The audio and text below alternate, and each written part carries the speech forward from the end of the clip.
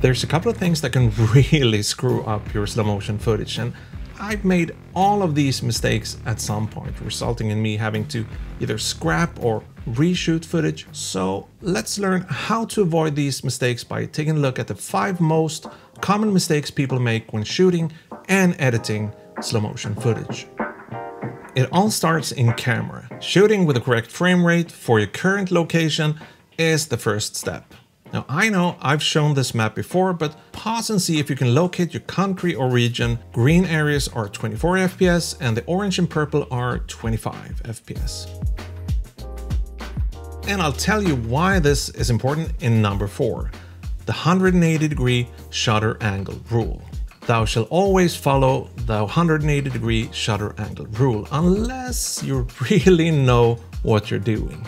But if you're shooting with the wrong shutter speed, your footage will look really choppy and weird when you start slowing it down. And when you're shooting with the wrong shutter speed and frame rate, your camera will be out of sync with the power grid frequency, and this will result in flicker. Number three, in your editing software, make sure your timeline or sequence is set up with the right frame rate for the footage that you're about to edit.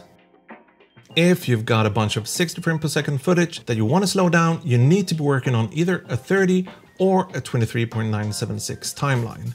You can, but you should never put a 50 frame per second clip onto a 23.976 timeline and try to slow that down because that will look like Number two, when you're slowing down your footage in post, think of your timeline FPS as your base or kind of target value. So a 50 frame per second clip on a 25 frame per second timeline should be slowed down by 50% to match up with your 25 frame per second sequence. Do not slow it down by 61 or 43%, it needs to be 50%, okay? And if you're shooting NTSC and you got a 60 frame per second clip, you can slow that down to 40%. 30 frames per second can be slowed down to 80% in order to match up with the 23.976 frames per second on your timeline. Number one, the last thing that could screw up your tasty cinematic B-roll footage on the finish line. When you're done with your edit, make sure to export your video in the same frame rate as your timeline to keep everything in sync from the beginning to the end.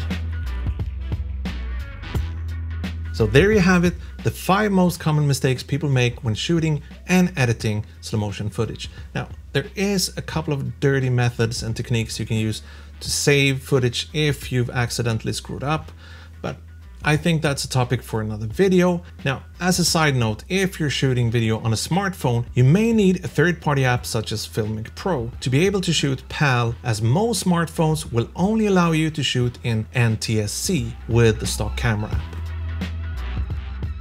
Now, let me know if you know more stuff that people should know and pay attention to when shooting and editing slow motion footage. And I'll see you in the next one. Okay? Bye!